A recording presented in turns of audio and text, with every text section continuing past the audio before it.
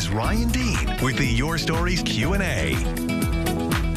No such thing as garbage questions when it comes to talking about trash. New 96 gallon trash cans are rolling out later this year in the city of Syracuse. And that brings this question. Can someone request a smaller trash container?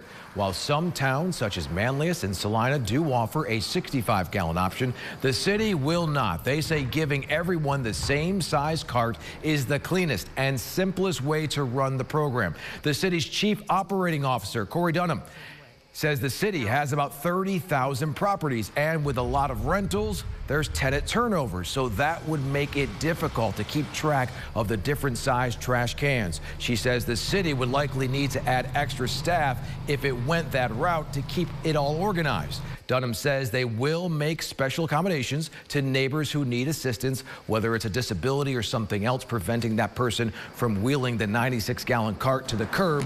Those details will be released later on as we get closer to the June rollout.